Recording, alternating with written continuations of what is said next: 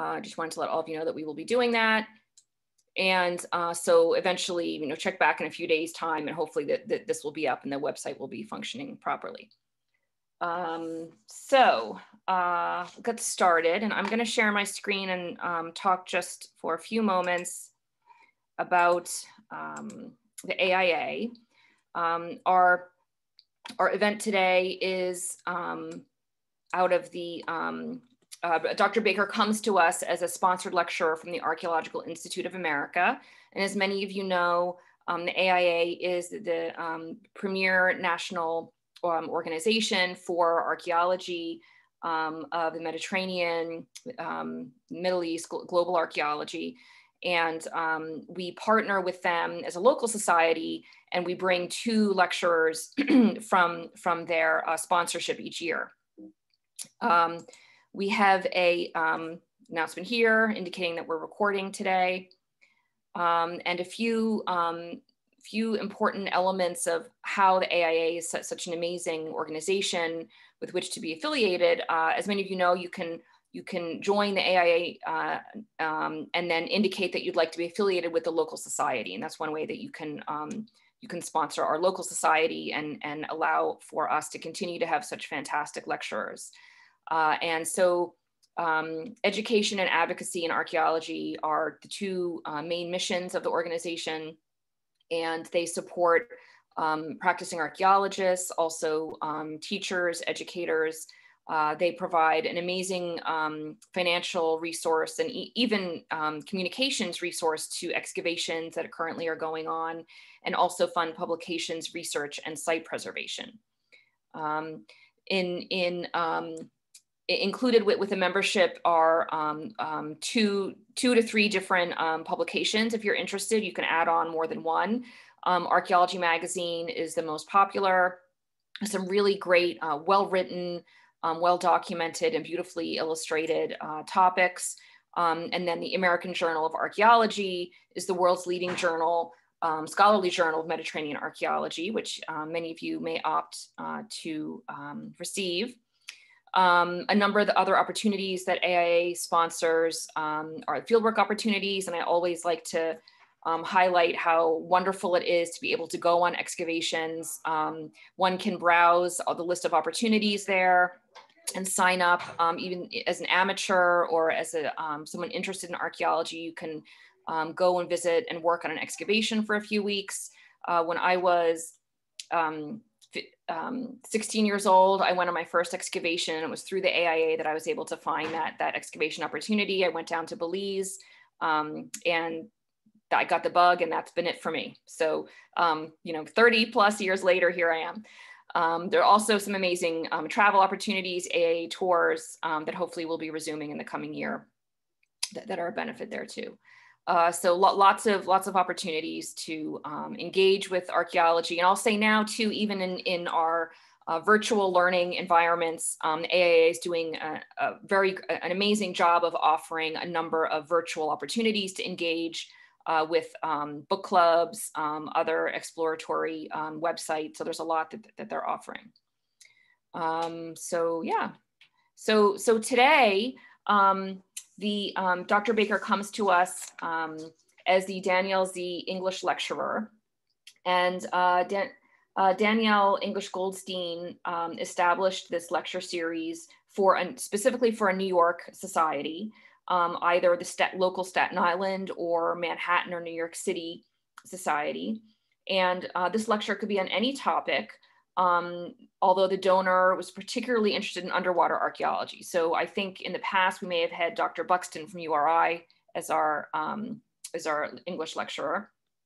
Uh, president of Harmony and Harmony, a music publishing company, uh, Danielle English um, created the concept and lyrics for Gordy the Goldfish, an educational music CD on the care of goldfish.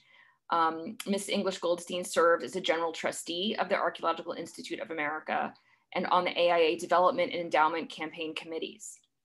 She is active in many other causes in New York City and served as president of the Manhattan Aquarium and Ichthyology Society. And uh, this lecturer is annually chosen by the lecture program committee of the AIA. Uh, and so um, we've, we've had the opportunity to have other English lecturers with us in the past few years. Some of you may recall hearing from Michelle Damian and Scott Fitzpatrick um, most, most on the past three years. They've been on our, on our program series. So, um, so now what I'll do is I'll turn it over to um, Dr. Celeste Gagnon, um, who is a former VP of um, the Archaeology Society and um, trustee. Um, and she will introduce our lecturer for us today as a fellow anthropologist uh, and partner partner in in uh, in excavation and and intellectual pursuits. So Celeste, take it away. Hey, everybody. It's so great to see you all. Thank you, everyone, for coming. Um, and it really is my distinct honor to introduce uh, Dr. Brenda Baker today. As Sarah had mentioned, she comes to us from the Center for Bioarchaeological Research at Arizona State University. And um, she earned her PhD in MA at the University of Massachusetts in Amherst and her BS from Northwestern University. Her impressive career focusing on bioarchaeological and mortuary archaeological research has taken her to sites in North America, Egypt, Cyprus, and the Sudan, where she currently serves as the director of the Bioarchaeology of Nubia expedition. BONE is its acronym. And it's her work in the Sudan that she'll be sharing with us today. So she has edited or co-authored three volumes, published more than 30 peer-reviewed articles, as well as an extensive list of reports and other kinds of documentation on topics ranging from understanding ancient disease to tracing human migrations to investigating the lives of ancient children and reconstructing the massacre at Fort William Henry in New York.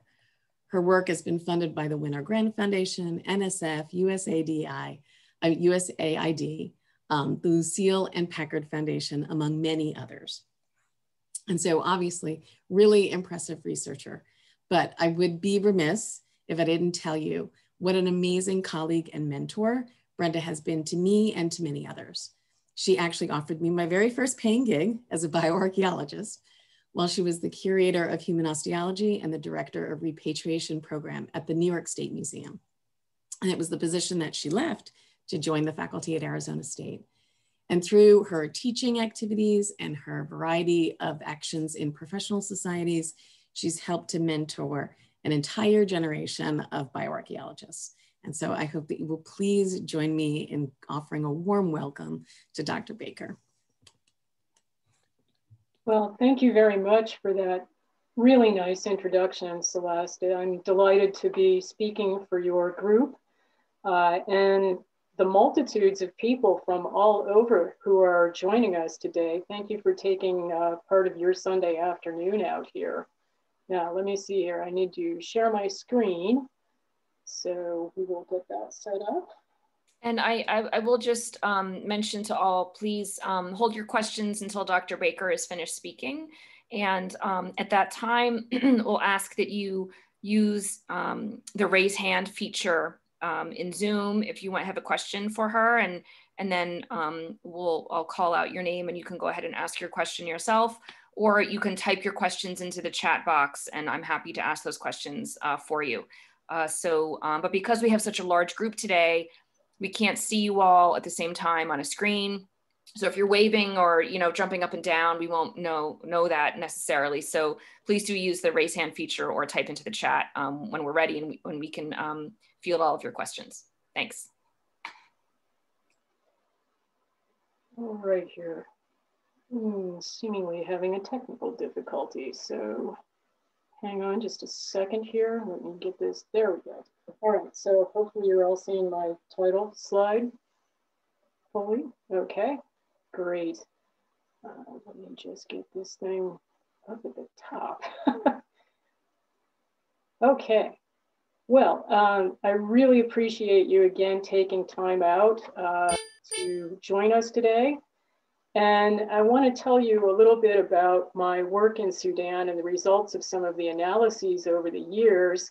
Uh, so this is going to cover lots of different bases and hopefully there's something for everyone in here. And despite the fact that it's called the BONE Project or Bioarchaeology of Nubia Expedition, it's not just about bones. Uh, but there will be images of graves and human remains later in the talk. So I do want to forewarn you if that's going to disturb you in any way. Uh, the project area is located at the top of the Great Bend of the Nile. You see that in the, the red box there with the inset to show that project area. So it's upstream of the fourth cataract where a new dam uh, was constructed and it's filled up this fairly large reservoir behind it.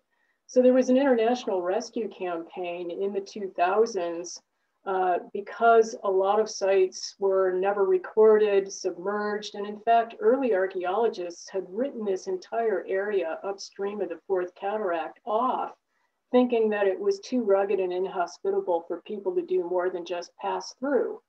So when surveys started, lots of sites were being recorded and it was realized that there needed to be a lot of intensive work done in the projected reservoir area and in other areas a little bit farther upstream where irrigation projects would also uh, potentially endanger sites.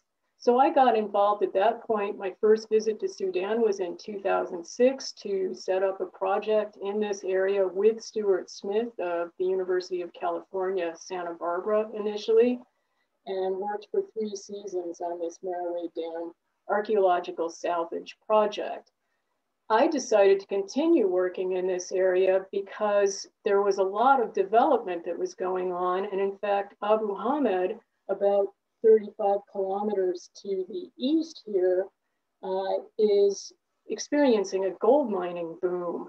Uh, so there's a lot of activity, a lot of development in this area. And in fact, you can see the agricultural expansion that has, has begun uh, since 20, uh, sorry, since 1986 up to 2013, extensive agricultural expansion that swallowed up some of the sites that were recorded back in 2003 in the initial survey of the area. And that continues to happen as people move their housing farther into the desert more irrigation and agricultural fields are then expanding to the area where the housing formerly was and swallowing up a lot of the sites that we already recorded. So we're in a bit of a race. Uh, the bioarchaeology of Nubia expedition project area actually extends for about 33 kilometers along the river, uh, covering from the east end here of Mograt Island on the north bank opposite that big island, uh, to this sort of V notch. Uh, so it's even recognizable when you're looking at maps of Sudan. You can I can spot where my project area is pretty easily. You can see here that the area is traversed by several large wadis or washes like we have here in the Southwest, and there are little tributaries called khors. We have recorded 228 sites so far in the project area, uh, ranging from the early Stone Age into the Islamic period. And you see that most of the sites uh, recorded are in the eastern half of the project area, uh, partly because we are working a bit more intensively there due to the rate of development. Uh, there's not as much development in the western end of the project area, uh, and we haven't done quite as much uh, survey and work in that area. So uh, looking at the project area here at the top from the opposite side of the river and stitching together a panorama, you can see that there's this big landmark, Jebel Jalud, uh, in the distance. And that's actually right, uh, right here uh, on this map of the project area. So we've got lots of sites that are situated close to Jebel Jalud uh, and certainly within eyeshot of it. So it's a really, really great landmark in this area. There is research being conducted on the Stone Age use of the area with Deb Olszewski of the University of Pennsylvania. 67 of the sites that we've recorded, uh, which is 29% uh, to date, are from the Stone Age. There's substantial Middle Stone Age activity, particularly in the eastern portion of the project area, and perhaps related to Jebel Jalud and some cobble, river cobble resources in that area. And just for those who may not be so aware deep prehistory. The Middle Stone Age spans roughly from 285,000 to between 50,000 and 28,000 years ago in Africa. Uh, so you see, we've got lots of these resources. And in fact, some of the later cemeteries are actually built on lithic scatters of Middle Stone Age material. So we have a lot of multi-component sites. We also have an important Mesolithic site. Uh, it's a production area from uh, that's on an alluvial terrace about 800 meters from the riverbank. And the radiocarbon dates that we have from shell samples range from about 10,580 to 93, uh, 9530 BP, uh, which is essentially 8630 to 7580 BCE, for those of you who think more in calendar dates. And we have extensive production evidence, including these, these pits in this sedimentary bedrock uplift. Um, so they're a little bit um, ephemeral. We don't really know what they were doing in these pits because a lot of them have been repurposed and are actually used for various purposes by the villagers today. And you see the housing right behind that. So they do things like make a certain type of, of oil and so forth using these pits. Uh, we had Fool cooking a bean dish, cooking in one of them one day. So, so you know, lots of reuse over time. Now, we also have a lot of ceramics and stone artifacts from the site. Uh, the ceramics are typical of the Mesolithic period. And yes, they did have ceramics that early in this area of Sudan. Uh, so a lot of people think ceramics only came in in the Neolithic. We know they were also seemingly grinding red ochre. We have several uh, hand grinding stones that uh, have staining from red ochre on them, like this example here. And we also start to see microliths and smaller kinds of lithic artifacts uh, coming to the fore uh, during this time period. And there are also grinding slicks around this site in the granite bedrock uplift. So they were using uh, lots of resources around the site. Now, the cemeteries in the project area date from the early Kerma period through the Christian period. And the older cemeteries tend to be uh, from the Kerma period, roughly 2500 to 1000 BCE, and date into the subsequent Napatan period. And they're located in the desert terrace, so along the edge of the Wadi systems for the most part. The later cemeteries from the Meroitic period and on through the Christian and Islamic periods are located in the uh, floodplain area. So they're more in, impacted by the cultivation. Now, I've focused on some sites in the area of Al Asaliya and Al Ginifab, and I'm going to talk specifically about a group of intervisible cemeteries just to the south, kind of southwest of Jebel Jalud. Uh, you see that there where the, uh, the arrow has flown in. So looking at some of these uh, cemetery sites and the way the graves are constructed, they've got these rock or rock tumulus superstructures, and some of these are called dome graves. And you see an example of that at the top left. These use bedrock to form part of the superstructure, and then there are more rocks piled on top of that. And they really mimic Jebel Jalud, uh, as you see in the distance. So there's there's some aspect potentially of marking that landmark and, and mimicking it. The oldest cemetery, I'm going to start from the oldest and then go into the more recent periods. So the oldest of these intervisible cemeteries that are clustered in that area where that arrow was is the site UCSB 0314. So it was recorded by the, uh, the team from UCSB that did the original survey in 2003, the 14th site that they recorded. So that's how we get that site designation. And you'll see that continuing uh, with ASU sites later in time. So here you see our excavation commencing in February of 2014. And you can see the stone toppings. These are rock tumuli, uh, and generally only a course or two of stones piled on top of them. So they're round about two to three meter in, in diameter. Brenda, Brenda, I'm sorry, Brenda, could I just ask you to perhaps um, lean in a little closer to your computer? Sure. Your um, the sound is is going in and out just a little bit. Uh, so okay. Yeah. All right, I can Thank do you. that. Okay, so thanks for letting me know. I appreciate that. Uh, so here you see uh, a kite uh, and we've got these, you know, extendable rods that we can take lots of photos with to create these uh, three-dimensional uh, reconstructions. So here you see an overview of that nature, and I'm going to show you the 3D uh, photogrammetry that we've done on select graves at each site. We also do 3D photogrammetry of the burial level uh, showing the skeleton and anything that's buried with that individual at the base of the grave. At this particular site, uh, we picked out this particular grave to do the 3D photogrammetry of every layer that we removed. And you can see what this uh, ends up looking like. So we are going to peel back uh, from the superstructure as we go down layer by layer and you can see how this was constructed. And you see the substructure and you start seeing a small pit that was dug into it for a re-entry that went right toward the head and hands of this individual.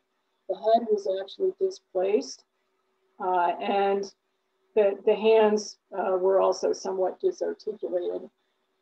And that was probably from a purposeful grave reentry within memory of this individual's burial uh, because they did very little disturbance, as you see, to the rest of the body. They left it as intact as possible.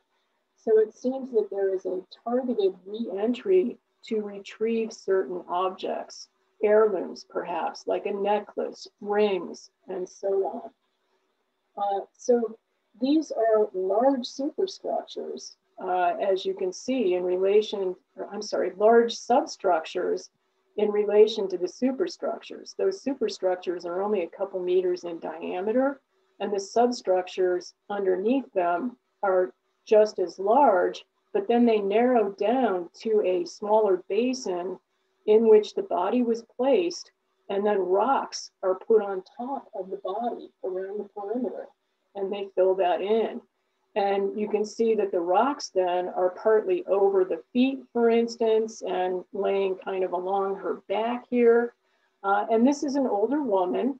She was interred with a single pot that you see here, uh, kind of between her arm and her knee. And if you look closely, Celeste is probably already keyed into this along with my other bioarc friends. You can see that her, uh, her leg doesn't look quite right here. This is her shin bone, her, her tibia, uh, lower leg bone, and that's a callus formation due to healing of a fractured shin. Uh, so she survived that uh, and it's very well healed, though slightly displaced. So that's a typical sort of grave from 0314. And you can see others we have uh, from her grave as well as from the others, mat impressions, some leather fragments that indicate they were wrapped in leathers, leather or hides essentially, and then placed on mats or wrapped in the mats as well. They used a lot of red ochre in these burials. So you see this staining around this individual's body from the red ochre. It was just really covered with red ochre. And this person had four pots around the perimeter. Some of them you can't see very well because they're still under the rocks and they got kind of smushed. Uh, but one to four pots with each individual from this particular site. All but one individual was on the right side in a flexed position. Their heads are all oriented roughly to the north toward Jebel Jalud. So Jebel Jalud seems to have been the landmark feature for that orientation. Now these ceramic vessels range in style, but these are all typical Kerma period kinds of vessels. And you see the black top uh, redware, uh, which is quite common for Kerma period vessels. But we also had one individual with an Egyptian import. This is from Egyptian marl clay. clearly not local. So they are tied into far-flung trade networks and not these backwater people as some of the early archaeologists would have had us believe that, well, we really shouldn't spend any time in this area because nobody would have been living there and they were just sort of this peripheral area. Well, we also have lots of beads of faience that they were probably producing locally. Um, ostrich eggshell and ostriches may still have ranged in this area. It may have been more of a savanna grassland at this point in the Kerma period. Uh, but we also have something like uh, some other indications like the carnelian beads that you see at the bottom that aren't local, and they would have come from farther afield. Now this site, uh, and there you see a good view of Jebel Jalud on a clear day, uh, the radiocarbon dates that we have from leather samples from to the graves dated to the early to middle Kerma phases. So the span is roughly from 2140 to 1730 BCE. So this is our oldest of the cemetery sites that we've found thus far. Now, right across the wadi is another site designated ASU 0901 because we found it in the two, well, we documented it in the 2009 season as the first site recorded that season. And this particular site has uh, dome graves that are constructed partly with the bedrock. So you don't have to build as much. You've got bedrock sides and you lay the body right on the bedrock and then you build it up a bit. So those are the uh, dome graves right there. And then you see we also have rock tumulus graves. They're dug into the sand down to the level of bedrock. And then you have uh, rocks placed on top, similar to what we saw at the other site. So looking back uh, where those people are, okay, they're excavating this outlier grave that was sort of between site 0901 and 0930 just to the north, uh, sort of beyond the shrubbery there. So we had to figure out, well, which one is it more likely to belong to or that we're going to include it with? We included it with site 0901, which turns out to have been a super choice because this burial has some really unusual ceramics with it. And these are a different shape and kinds of decoration than we typically see with Kerma, style ceramics.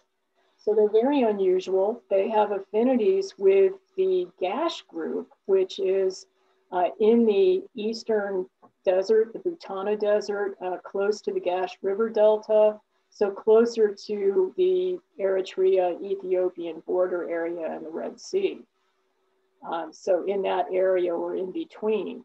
Now, this particular individual uh, is buried with a bone tool alongside her back that looks like an implement she would have held and used to make these pots.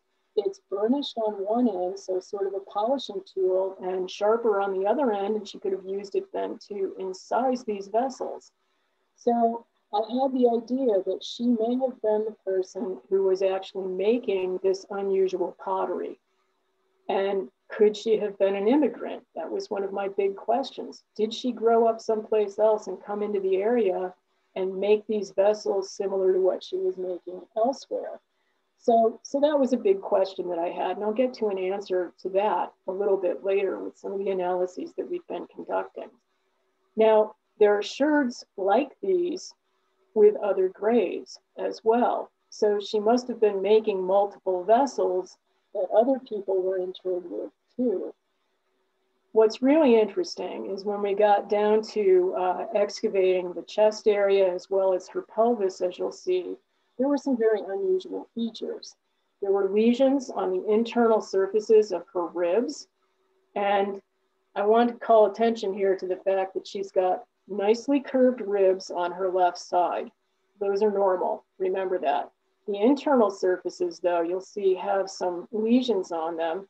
And this nodule is a calcification along with some other little bony plaques that are due to some sort of pathology that occurred, uh, a respiratory infection. Now, she has this, we micro CT scanned this no nodule and it shows very regular growth and no voids within it. So that means it's got a non-infectious origin. And that is likely related to a hazard of being a potter, which is silicosis. If you're inhaling sand grains and uh, other kinds of, of um, foreign material from dust, uh, you are at an occupational risk for getting silicosis. So miners are prone to it. Uh, people who are using jackhammers to break up concrete today are prone to silicosis and so forth. And it's a, an occupational risk for, uh, for potters as well. So we have really good evidence here of this chronic respiratory infection of a non-infectious origin for this woman. So it's not tuberculosis or some sort of chronic respiratory infection due to a pathogen.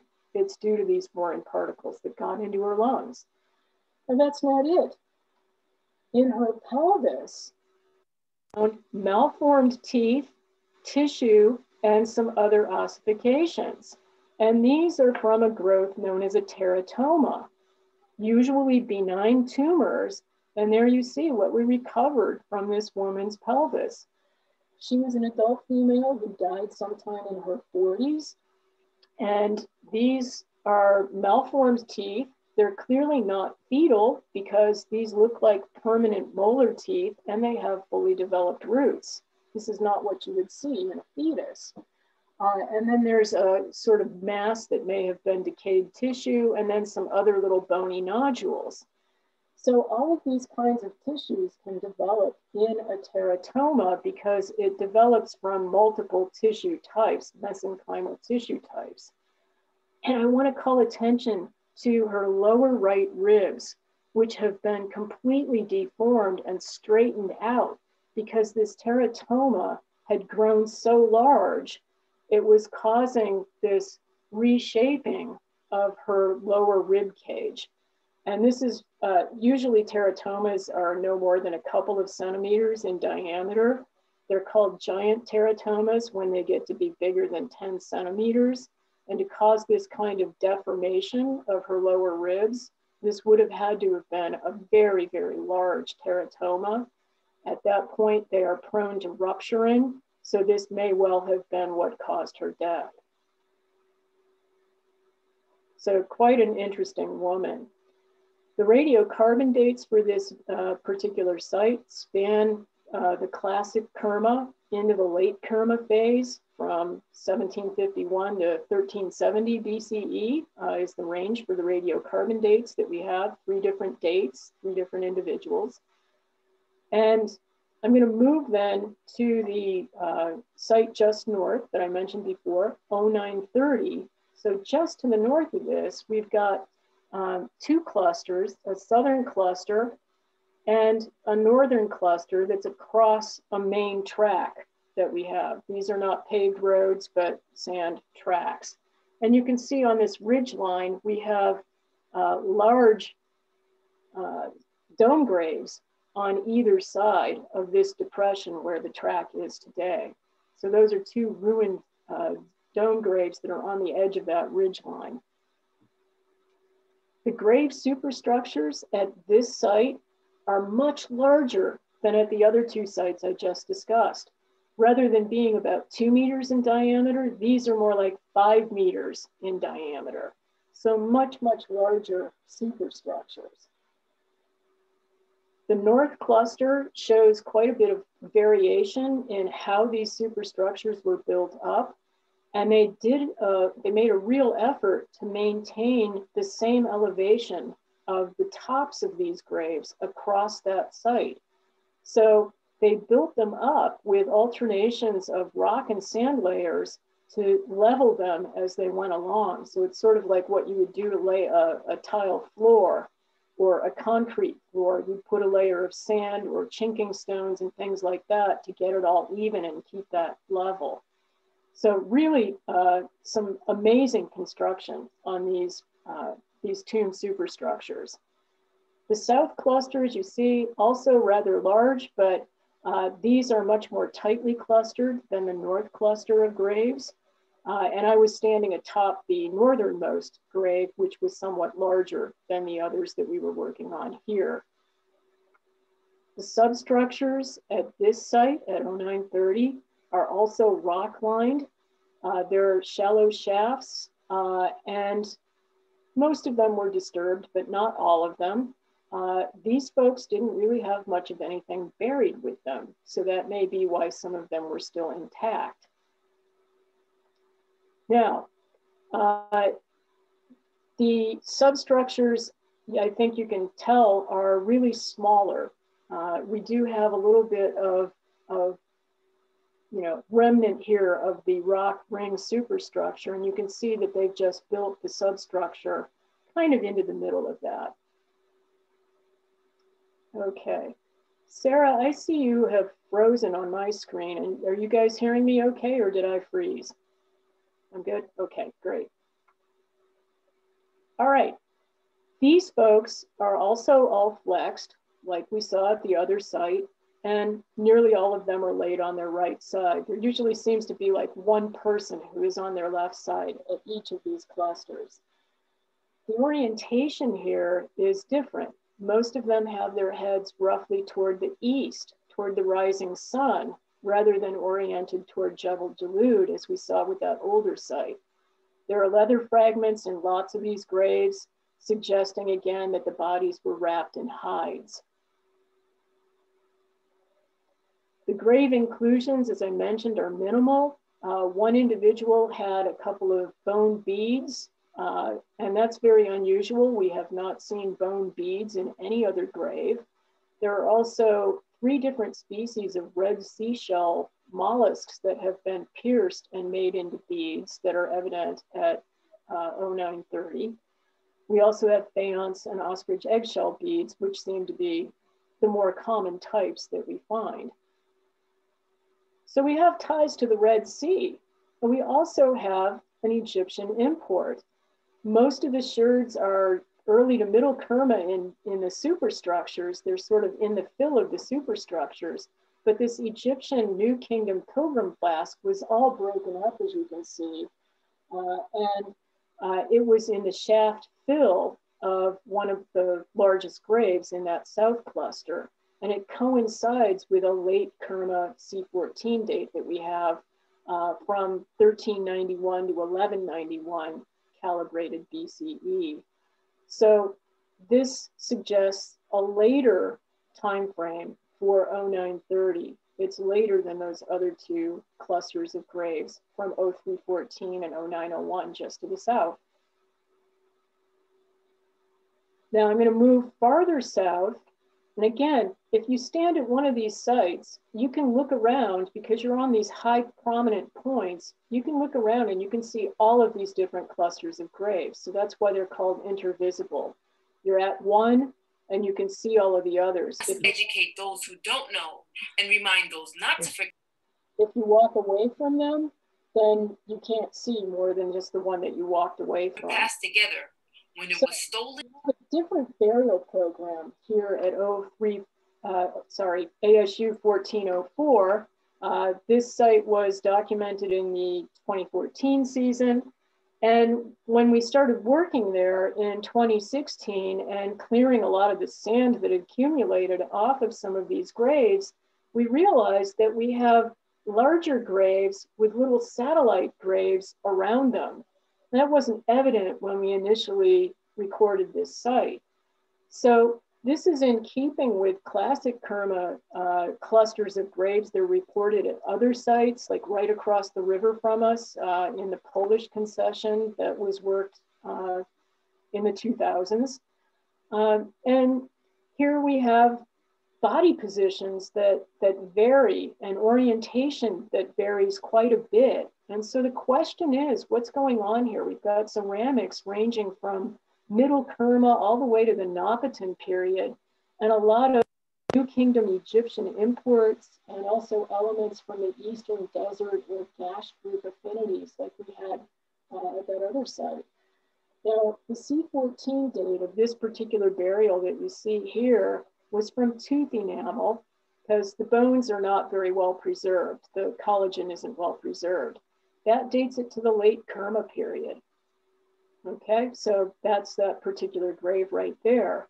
We did excavate the little satellite grave and it turned out to be a child uh, around two to three years of age. So you can see they're buried in that sort of fashion that we saw at the other sites, flexed on their sides, but very different orientation as to which way the head is going. Uh, we have more variability with a superstructure that looks like it would be a Kerma period grave, but when we finally found the substructure, it was this sort of oblong, small slit that had an extended burial on its back, which is sort of an Egyptian idea, but also occurs with later Meroitic burials. So is this a New Kingdom Egyptian influence or is this a Napatan later burial? Well, we got a couple of dates on this one, and it is clearly from the subsequent Napatan period. Uh, so the dates actually place us from around 768 to around 380 BC for the span of two dates that I got on that. So firmly in the Napatan period, but we see that there's a change in the burial program and typical fashion of placing the bodies. So this is really interesting, and it's our first evidence of Napatan uh, use of this area. Now, just to kind of bring you back here, comparing all of these sites, all of these bodies generally seem to be wrapped in hides. Many have evidence of mats that may have uh, been placed at the bottom of the grave and they were laid on those or wrapped on uh, mats as well. There are dome graves on the ridge lines at all but 0314. Uh, 0930 has superstructures that are larger and more complex, but they have smaller substructures. There are large graves with small satellite graves at 1404 that differ from the others. And we have a variety of orientations in the bodies and whether they're placed on their right or their left side, but they are all flexed. Only those at site 0314 have pots that are down at the body level, placed with the body. So that one is different in that regard. And again, that's our earliest site. So what accounts for all of this variability? Well, one of the things I wanted to figure out is whether with these imports, we have people who are coming into the area and moving in there, which may then account for some of the variability that we're seeing in the way people are placed in these graves and the different kinds of grave structures, superstructures. So Lesley Gregoricka and I started working together to do analysis of strontium isotopes. And that's used to assess the mobility of people because you can detect first generation migrants when the tooth enamel is actually forming. So you're taking up uh, signatures from different geological regions through things like the drinking water and the plants that people are ingesting. So I'm not going to get into all of the intricacies of that, but uh, but we use this to detect whether people have moved into an area and they grew up elsewhere, or whether they grew up in this area where they were buried. Uh, we also wanted to do carbon and nitrogen isotope for dietary reconstruction, but unfortunately, uh, there's not enough collagen to actually do that. So, hot off the press, uh, what we found and what we'll be talking about in an AAPA session on Monday is the change that we see in mobility. And the human uh, strontium ratios are estimated with the local strontium ranges that are generated by the local fauna and the diagenetic human enamel. And you see these dotted lines, and that shows the local range. So all of these people who are outside of those dotted lines grew up somewhere else. They're non-local. And you can see over time that the earliest, the early and middle Kerma folks, there are a lot more who grew up elsewhere and immigrated into the region. And that starts decreasing uh, as you move into the classic Kerma. So we're really excited about this to see that we may have a more pastoral economy or a segment of the economy early on, and then perhaps we get more uh, settled agriculture developing later in the Kerma period. Another question then harks back to those unusual ceramics with the potter who had the teratoma. Did she grow up someplace else? Well, it turns out she has a local strontium signature. So chances are, given that she's, you know, from one of the earlier periods, maybe she learned the potting technique, learned how to make pots from somebody who was an immigrant. And there clearly were a lot of people who were moving into this area from elsewhere. So she must have learned that from someone who moved in. So we're addressing whether these non-local grave inclusions are associated only with people who immigrated into the area or with both local and non-local individuals. And you can see, yeah, we've got imports and odd facets, you know, with these people who are local to the area, like this New Kingdom, Kingdom Pilgrim flask as well. The other thing I want to mention about uh, this particular individual, the potter, uh, our ceramicist, Alexandra Cisak, uh, has done petrographic analysis of the sherds, and the fabric is also local. So she again was making different shapes and decorating these vessels differently than you would expect with the typical Kerma vessels that you would see in most of the graves. Uh, but she's using local fabric and she did grow up in the region. So this is all really interesting to try to figure out, you know, how these people were interacting and who they were interrelated with. Now, I'm going to switch gears here and give you something completely different and talk a little bit about uh, rock art and rock gongs. And I bet a lot of you never really thought about hitting a rock and listening to whether or not it resonates. When they resonate, they are called rock gongs. So we have some suitable surfaces, but they are limited in the area. And you see a couple of these here, along with some of the uh, rock art to the left. Uh, I've worked with Cornelia Kleinitz of Humboldt University in Berlin and Rupert Till, who's an archaeomusicologist at the University of Huddersfield in the UK. And we published the study in 2015. We have a massive rock gong in our area. Uh, it's a huge granite slab that's uplifted somewhat, and you see uh, Connie Kleinitz there, uh, gives you an idea of the scale. And she mapped 115 cup marks that range in depth between 0.2 and 3 centimeters. Uh, so some of them are rather deep, some of, them, some of them are quite shallow, and they have different degrees of patination. Some of them are fully patinated, so very ancient, and some of them have very light patination, so probably more recently formed, or perhaps uh, played more recently, used more recently, so the patination has worn off a bit. There isn't any rock art in the immediate area, but we've got lots of graves and clusters of graves surrounding this area. So could they hear the rock gong if it were played from the area of these graves? That was a question. Well, we investigated how it was played by looking at the position of the cup marks, and that points to the likely positions that people would have had as they were playing different areas and different sets of these, these indentations or cup marks. And you can see these indentations here uh, on the edges. And, uh, and our, our players here in the various comfortable positions that you would take to play some of these indentations. Now, Rupert had all of the sound equipment that we had to import into Sudan uh, and try to record the sounds that are made when you strike each of these indentations.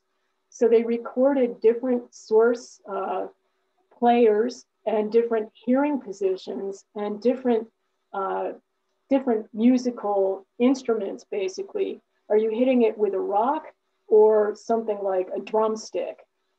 Uh, wooden versus stone. Uh, and do they produce different sounds, different levels of reverberation? And you can see Rupert was really getting into his work here, laying down on the job and everything. uh, but he wanted to see, you know, does it resonate in the same way, even if he's got his body laid across it? So they did tons of recordings. And again, each cup, each indentation was recorded separately. And if you strike it, this is what it sounds like.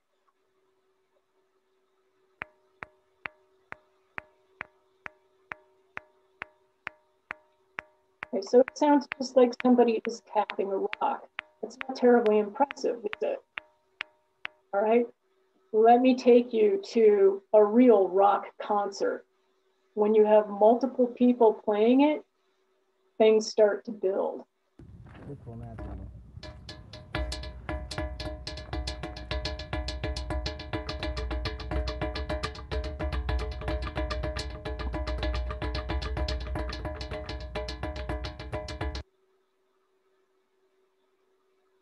When you have multiple players like that, you can easily hear the volume up to or at least 90 meters, probably more than that, among the different clusters of graves. So that was another big question that I had. How far will that sound carry? Now, of course, you have to take into account that there's also wind that you have to factor in. It's a windy area, but they were able to hear it easily for at least 90 meters or more among these different grave clusters. So then you have to start thinking about a soundscape for the funerary rituals taking place. And that gives us a whole new dimension of thinking about this flat area that's sort of in front of the rock gong and the rituals, the ceremonies, um, dancing, singing, feasting that may have taken place along with these funerary rites or commemorations of the dead.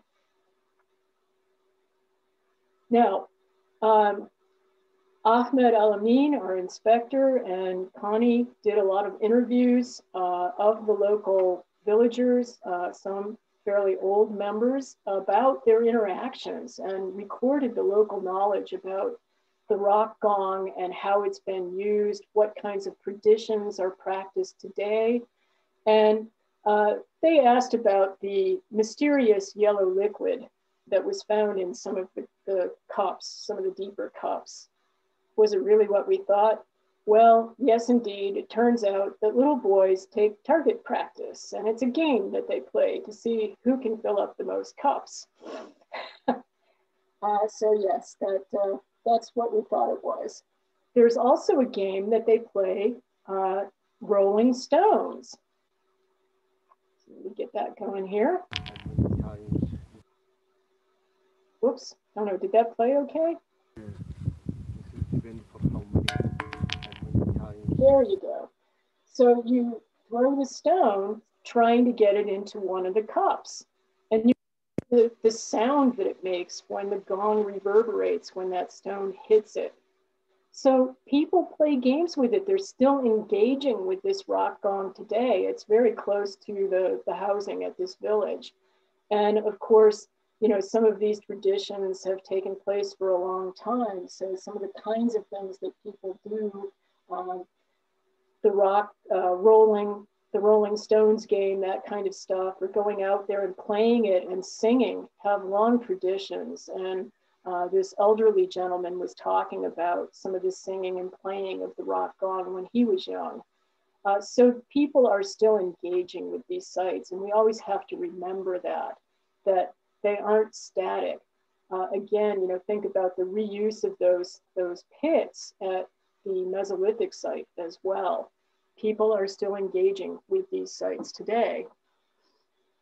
Now, that brings us to El Hosh, the enclosure, which is a post-Meroitic fort that we did not discover in the project area until 2015, sort of fortuitously when looking at old Corona satellite imagery from the US government that was taken in 1968. And you see here this square in the red, uh, the red square there, that's a fort.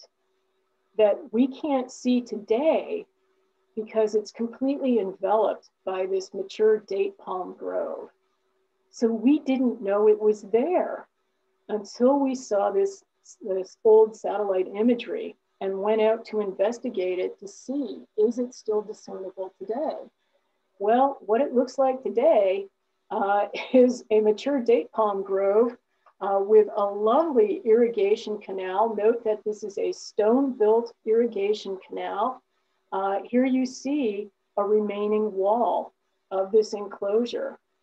And we interviewed the landowner and he planted the date palms in 1970. So perfect coincidence that the satellite imagery from 1968 showed it prior to the planting of the date palms. He used the riverside, the south wall, to, he dismantled that as you see here on our site plan. He dismantled that and that's what he used to construct his terrific irrigation canal. So water is pumped up now from the river uh, up to this canal and it goes all over these fields and extends for quite some, some, time, uh, some area. Now we did some test excavations in 2015, 2015 yes. Uh, and there's not a lot of area left that's uh, easily testable inside the walls. Um, so we did some work outside the walls uh, where we thought there was a gate at the eastern side. And that turned out to be quite interesting because along the exterior of that east wall, we found a burial at the very base of the wall.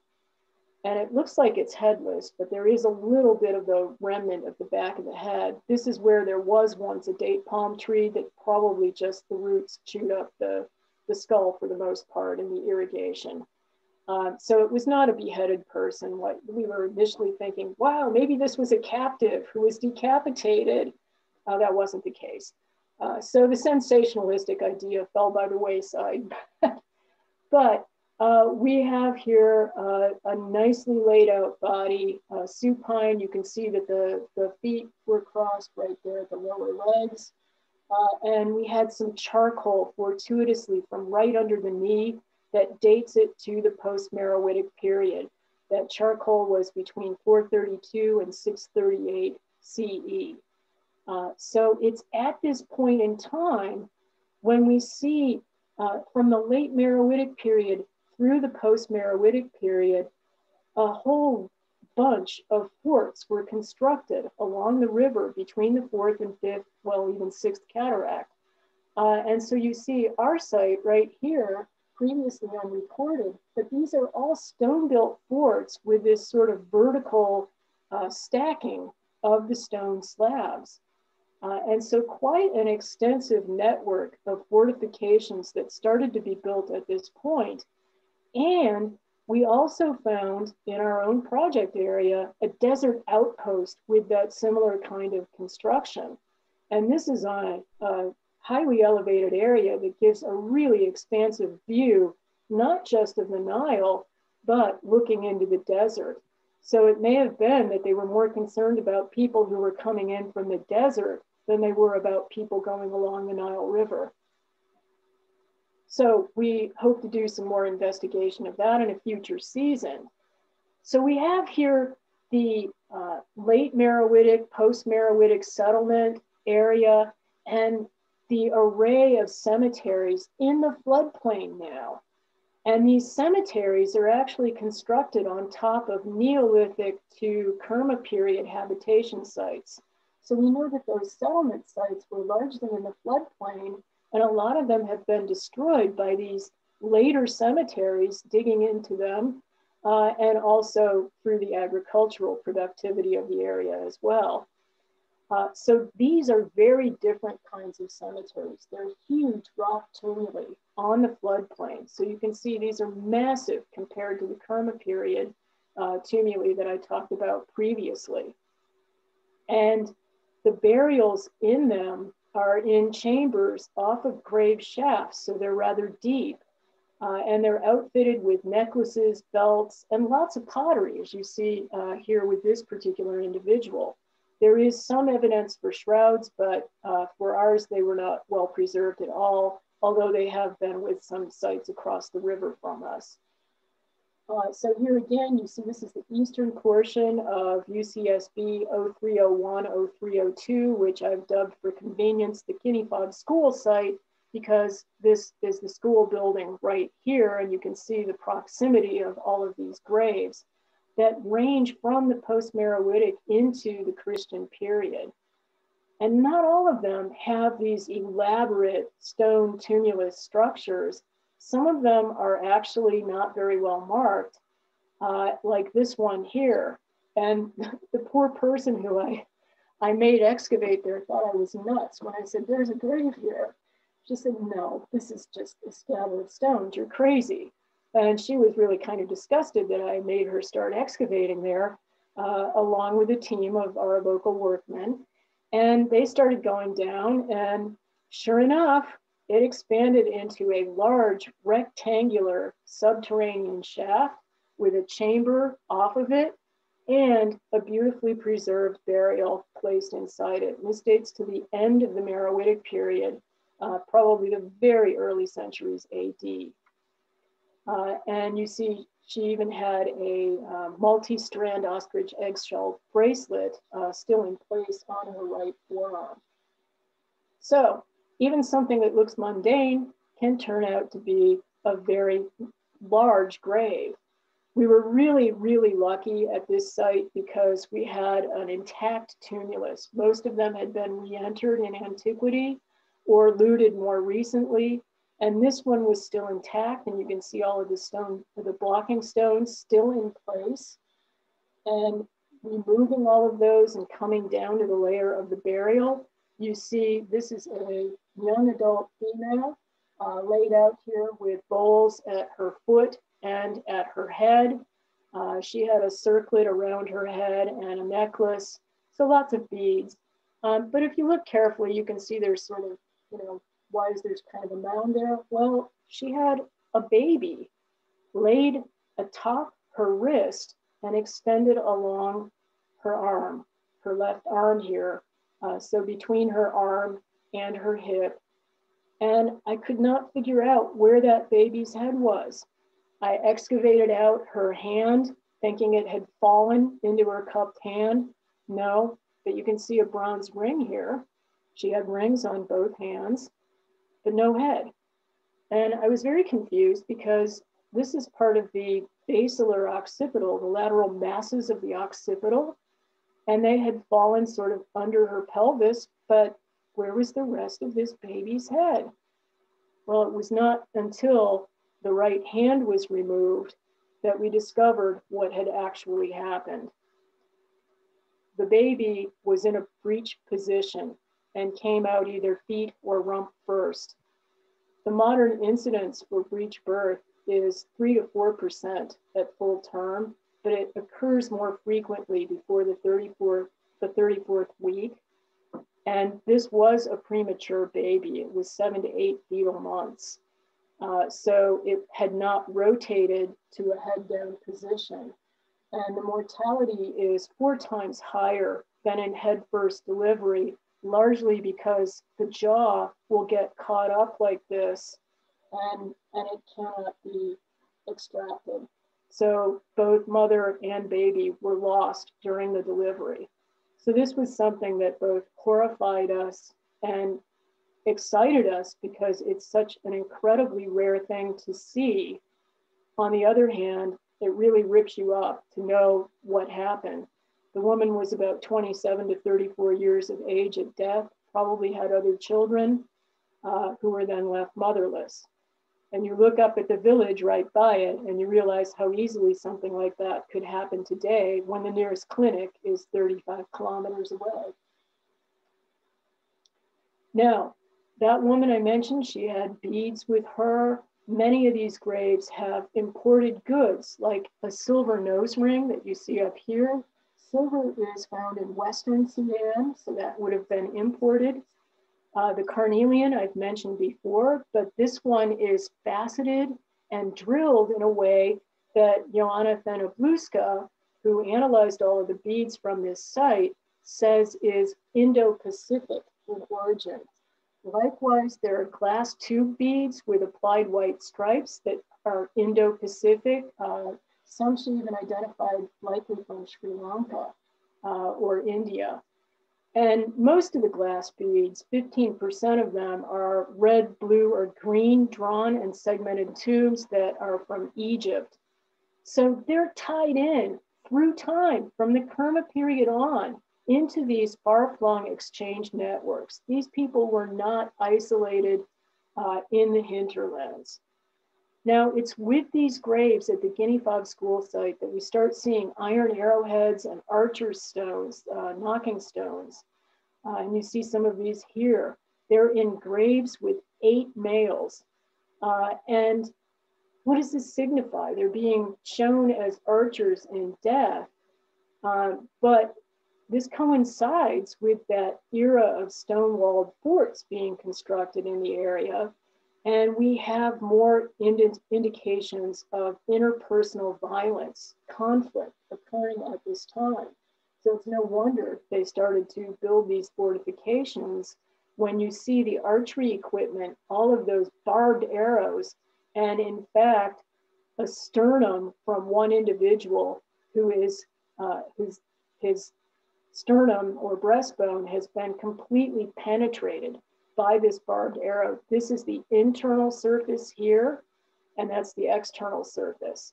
That arrow went through all the way uh, so that the shaft actually has a circular indentation on the, the surface of the sternum. It's really pretty amazing. There's other evidence of pathology at this site. Uh, from the sample of 100, we do have some evidence of infectious disease, probably tuberculosis, brucellosis, also known as undulating fever. Uh, and dental pathology starts to get more severe during the Christian period. There's also trauma and interpersonal violence continuing from the post-Meroitic into the Christian period so that sort of thing continues, and more fortifications are built in the Christian period. So there's definitely decentralization that occurs after the Meroitic Empire, uh, you know, basically disintegrates, uh, and then probably more people coming into conflict uh, as new uh, kingdoms like Makuria consolidate and perhaps try to gain control of this area there's still a lot that we need to learn. Uh, we're looking into this dietary shift from the post-Meroitic to the Christian period that coincides with that increase in dental pathology. And also, uh, as noted just very recently by my, uh, my now uh, Dr. Annie Laurie Norris, uh, who just got her PhD this month, uh, in fact, last week, she's noting that this um, decrease in the amount of protein and increase in consumption of plants like wheat and barley rather than sorghum and millet is coinciding with an increase in indicators associated with anemia in a lot of these kids. So we're going to be looking more into that. Uh, and we see new aspects of identity occurring in these people. And I've worked with Caitlin Ballhoffner looking at dental avulsion or the purposeful, purposeful removal of incisor teeth that's found in some males and females, continuing from the post-Meroitic through the Christian period. And in fact, you still see this in a small number of people in the project area today. So many dimensions of looking at the interrelationships among these people. And one of the things that we do try to do is get the information back to the local communities. We've interviewed people about the sites, as you've seen throughout the presentation. Given the proximity to the school, we started uh, raising funds, donations to give to the schools to try to uh, promote learning uh, with textbooks and posters. We created pamphlets in Arabic and English that were handed out to the schools. Uh, there was construction of a new school uh, started right near our dig house in 2008. and we were able to raise funds from friends and family to uh, help them build the school and then make improvements to the schools in the area when we finally got uh, onto the electrical grid in our 2016 season. And uh, I was able to raise enough funds to give the local schools money to connect to the grid system. Uh, and they were thrilled to have electricity uh, with light and ceiling fans, which is really important in this area, particularly during sandstorm season. so in conclusion, uh, this area was not a backwater in the past. There were clear ties throughout antiquity to Egypt, uh, the Red Sea, and even beyond. And our ongoing analyses with uh, the artifacts and the skeletal remains will hopefully help us clarify the relationships among these sites through time uh, and the relationships among people uh, within and between these different sites and throughout the region. So I thank you all for your attention and uh, would like to open it up for questions.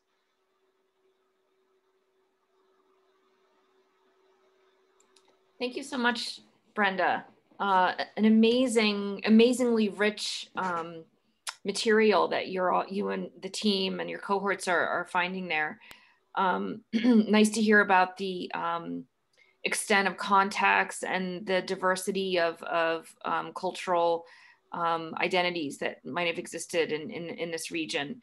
Also fascinating to hear about some of the science and archaeology behind the, the work that you're doing. So, so yes, yeah, so um, if you have a, if folks have questions, um, please go ahead and, and raise your, your digital hand um, or feel free to um, type into the, the chat um, a question that you might have.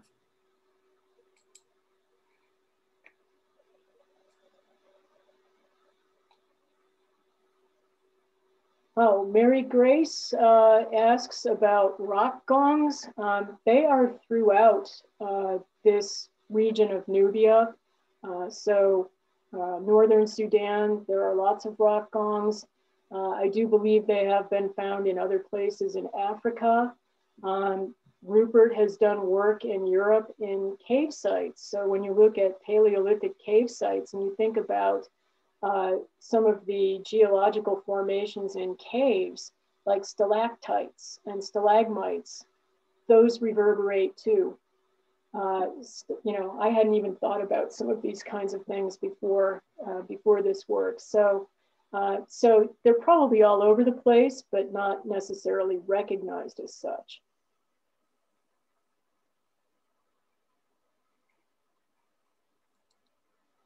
Uh, Sabrina, Hi, Sabrina uh, asks about the spectrum of pathology, other than the examples that I brought up. Uh, we do seem to have an increase in uh, pathology with the later time periods, uh, an array of infectious diseases, uh, more dental pathology, and you know more evidence of non-specific indicators of stress. lots more trauma as well in the later periods. Uh, so, you know, that's more work is being done on, on that count as well.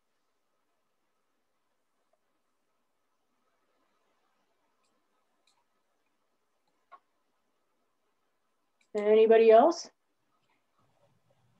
I got one. um, so yeah, Brenda, I'm wondering because I don't know anything about like the the the local environment about the strontium data and how specific they are to particular locations. I ask because in the Andes, right where I work, we have constant problems um, trying to use strontium alone, at least, to uh, to tell about movement in populations because the the complexity of the underlying bedrock in the Andes makes it such that we have lots of different kinds of places that have overlapping strontium values. And so we've had to use add in lead, add in oxygen, other kinds of values to try to sort that out. So I just didn't know how complex or simple the, the underlying lithology is in, in this area. Yeah, well, I you know I can I can actually defer to Lesley Gregoricka, who is on this. Uh, she's still hanging in there, and Michelle Buzon, I think, was in here earlier, but I don't. I think Michelle may have. I don't know if Michelle's still here or not a lot more work is being done in the area. uh, right now. So we will have more comparative um, aspects, but I don't know, Lesley, do you want to chime in on that? Uh, sure, I can chime in briefly. Just that it's not incredibly complex. It has a fair degree of complexity, which does does give us some heterogeneity in the strontium values, which is good on the one hand when you're trying to measure how nomadic these individuals were, especially in those earlier periods. But we do need more baseline data. And actually, Michelle Buzon is collecting some of that data as part of a NSF grant that she received. We're going to continue to collect that kind of data as well to just get more information about uh, connecting people and their movements to that landscape. Thank you, Lesley. Uh, yeah, lots, you know, as I said, lots of work uh, and lots of people who are, you know, trying to do collaborative aspects so we can build up a better, you know, a better landscape essentially or isoscape. Um, Sonia Zakrzewski asked uh, if we know where the migrants are coming from. And that we haven't yet figured out.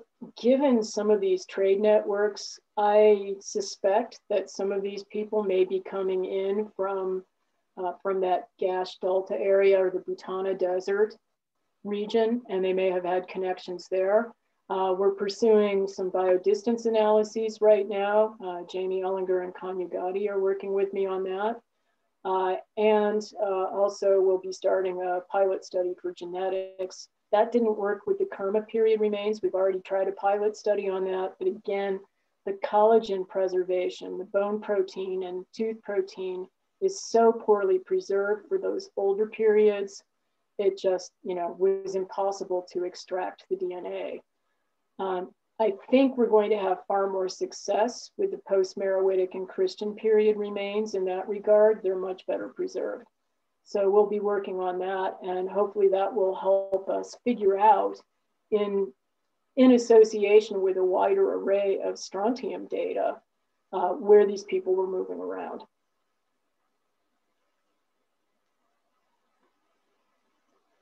Uh, okay, um, Diane Griffiths asked uh, if the climate is as dry or was as dry as it is now no, actually, uh, I mentioned that in the uh, in the early Kerma period, particularly, but the first portion of the Kerma period, uh, it would have been more humid, wetter, and it would have been more a savanna grassland.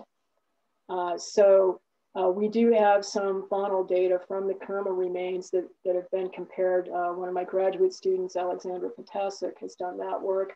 Uh, and so, you know, we know that it was a little bit wetter at that point, so more grassland. Uh, but it would have gotten drier and drier as we moved into, uh, into the medieval times, particularly. Okay. Um, yes, Sid Kitchell asked about the agriculture. Uh, how, how rapidly is it covering sites that need to be examined? Uh, well, I showed you that expansion up to 2013, and that is continuing even more rapidly, I would say, because of the increased irrigation capabilities and a huge canal that's been built. Uh, so it's just a race against time. And we've seen many of the sites that we recorded in earlier years already having fallen, to the plow. Uh, they've been plowed and planted uh, and, and others that are getting disturbed or destroyed by new construction that's going farther into the desert. So it's just, it's a real race. And in fact, the Guinea Fob school site is mostly under agriculture now, and they moved the school uh, to a new building right smack on top of another cemetery.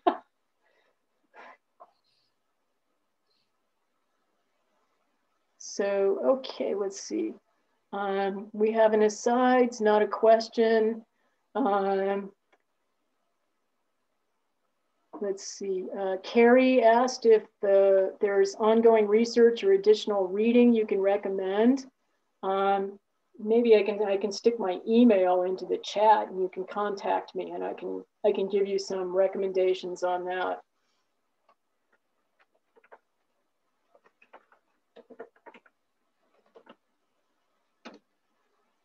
Okay. And uh, Zainab, thanks for attending. Uh, does the isotopic analysis refer to any migration or regions? Again, you know, we're not quite sure where all they were coming in from, and we hope that that will get more evident with some of the work that's being conducted. Uh, and hopefully, you know, hopefully in 10 years, we'll be able to tell you that, if not sooner. So I have another actually uh, point, not question. I'm putting here, I'm sending to you in the chat, Brenda. I don't know if you've seen the new work about extracting collagen from enamel, from very small amounts of enamel. Someone just sent it to me the other day because we also struggle with collagen preservation on the North Coast. And so we're constantly at sort of a, a loss to do a, a number of different kinds of isotopic analyses. Yep, that's how I got some of the radiocarbon dates was with the bioapatite from the tooth enamel. Yeah, yeah. So now there's some some new techniques out there to be able to to extract that stuff. So I'm just sending you the link in case you hadn't seen it. Right, right. Okay, thanks. Okay, so lots of great questions. Yeah, yeah, lots of good, lots of great questions. Any any any final final questions before we wrap up? Okay, so um, thank you so much, Dr. Alan, Baker. Did you have a question? Yeah. Do the do the locals mind that there all these graves are being dug up, or do they just feel that they're not ancestral, therefore not important? Uh, well, you know, when you talk to some people, they are wary of the graves. They don't really want to touch the human remains. It's, you know, sort of a superstition. Um, most of them don't really feel the connection because they view themselves, they've been Arabized. Uh, so, you know, a lot of them, even though they are a Nubian group, they view themselves as more Arab and they don't see that connection or they say, you know, we're, we're Muslim. Uh, so, so they're not seeing that direct linkage. Um, but a lot of it is because they're not really learning a whole lot about ancient Nubia until they get to high school. And a lot of the people in this, you know, it's rural villages, and the high school is in Abu Hamed. So, you know, a lot of them don't go to high school. Uh, some do, but you know, a lot of them don't. So it's it's you know really trying to promote um, the education about the cultural heritage in the area uh, and value those graves. But you know, the fact that they moved the school building from right next to one of these big cemeteries and they put it right plop on another cemetery that's huge. It's like, why would you do that? so, you know, we were trying to do some salvage excavation there because they damaged a lot of the graves in the process. Uh, and when I go back, uh, you know, I'm going to try to work with the, the headmaster and the school teachers to see if we can you know, try to preserve what's left and maybe put some signage up to give them some more information about, you know, what we learned from those graves that we, we only excavated three of them, I think, but, you know, maybe we can do a little more.